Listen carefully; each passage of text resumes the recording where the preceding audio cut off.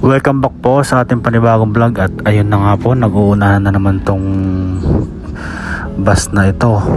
Kaya maraming nangyayaring hindi kanais-nais kasi laging nag-uunahan sa daan. So sa lahat ng mga driver ng Victory Liner ayan ingat-ingat po tayo sa, sa daan sa biyahe. Location po nitong lugar na ito ay sa San Ramon, Dinalupihan, Bataan. Yan, dito sa may dito po sa may overpass ng STX. So ayun guys, mga tol, ayun kung napansin nyo, single solid yellow line dito sa may kaliwa kaya hindi pwedeng umovertake dito.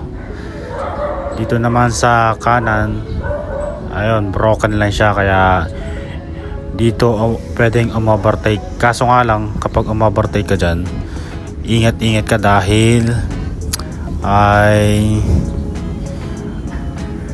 dahil maraming mga nakaparking dyan sa gilid-gilid.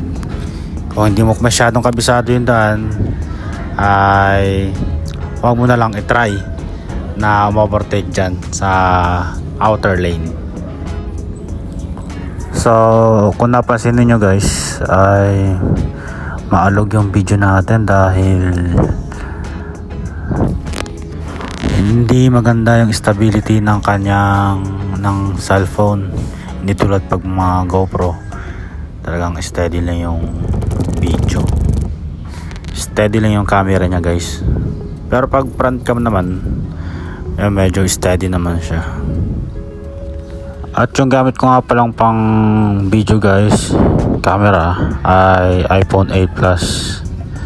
At yun nga tol, kapag ganito mga intersection, kailangan naka-flasher kayo lagi para aware yung mga nasa harap tsaka yung mga nasa likod din yung mga sasakyan. Kasi minsan isa din yan sa mga cause ng accident.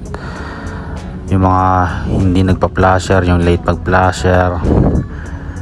So gamit-gamit din ng flasher guys. And then kung mapapansin niyo guys, yung line na naman dito sa daan, iba nag-iba na naman. Solid yellow line dun sa kabila dito sa banda sa gawing gawi sa atin ay broken line. So ano ay ibig sabihin niyan? So tayo pwede tayong uh, mag-cross dun sa kabilang daan or umovertake. Pero yung opposite direction hindi sila pwedeng mag-overtake ng daan. So, kapag may nakita kayong ganong linya, ganun yung purpose nun guys. Then, pagdating naman dito, guys, solid yellow lane na lang. So, hindi na pwedeng umovertake dyan.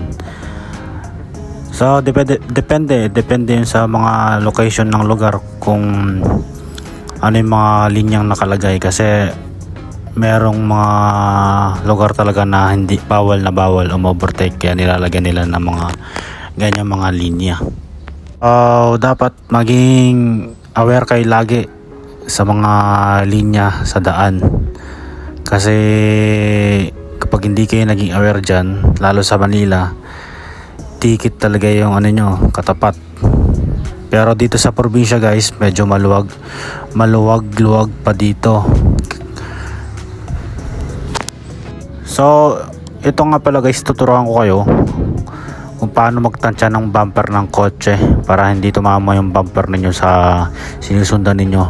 So, kung napapansin niyo yung wiper na yan, yan yung pinaka-guide ninyo para hindi kayo tumama dun sa harapan ninyo. So, kapag umabot na yung wiper ninyo dun sa silong ng sasakyan, mag-stop na kayo kasi yun na yung pinaka distance ng car nyo dun sa sinusundan ninyo para hindi kayo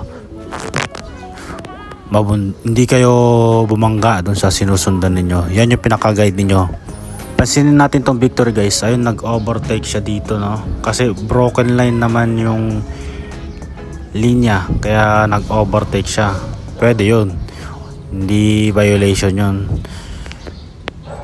So ayun guys, hanggang dito na lang muna yung ating vlog.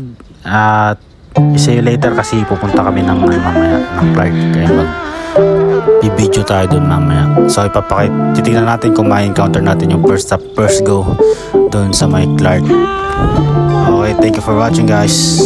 How wonderful would it be?